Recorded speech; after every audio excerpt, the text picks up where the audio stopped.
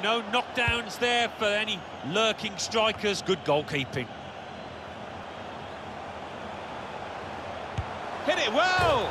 We've gone for goal here from a long way out, and he's hit the target.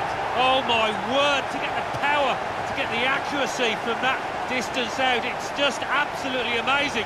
Superb shot, wonderful result for him. Well, that is one that we'll look at again because it's so eye-catching when that happens. Very rare, really, but it's a...